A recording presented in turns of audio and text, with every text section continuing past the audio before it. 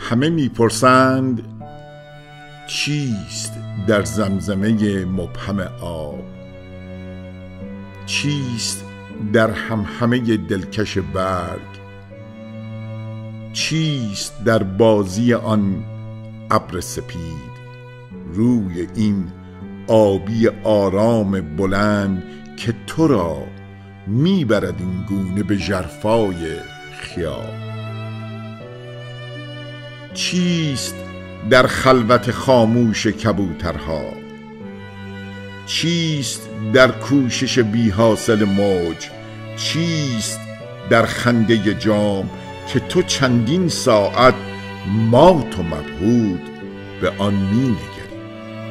نه به ابر نه به آب نه به برگ نه به این آبی آرام بلند.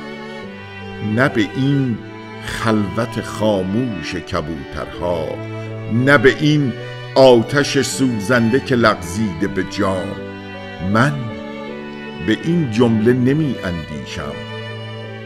من مناجات درختان را هنگام سحر رقص عطر گل یخ را با باد نفس پاک شقایق را در سینه کوه صحبت چلچله ها را با صبح نبز پاینده هستی را در گندمزار گردش رنگ و تراوت را در گونه گل همه را میشنوم می‌بینم. من به این جمله نمی اندیشم به تو می اندیشم ای سراپا همه خوبی. تک و تنها به تو می اندیشم.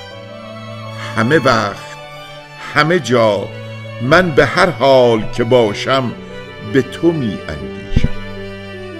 تو بدان این را تنها تو بدان. تو بیا تو بمان با من تنها تو بمان.